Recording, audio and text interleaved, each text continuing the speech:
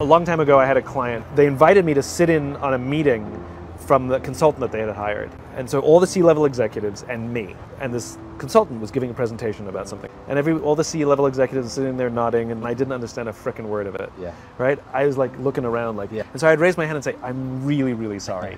I know I'm the only person in this room without an MBA." But this doesn't make sense. Can you just say it again, please? I'm really, Yeah. I'm really sorry to slow the meeting down, everybody. And one by one, all the C-level executives said, "Yeah, I don't understand it either." Now, if the idiot hadn't spoken up Yeah. and said, "I don't understand," they all would have nodded their heads Yeah. for fear of looking stupid because they don't understand. Yeah. And it would have they would have paid a lot of money for a document they didn't understand. It's because I'm I'm okay being the idiot. I'm okay everybody in the room going, "Oh," because I have to ask questions until I understand it.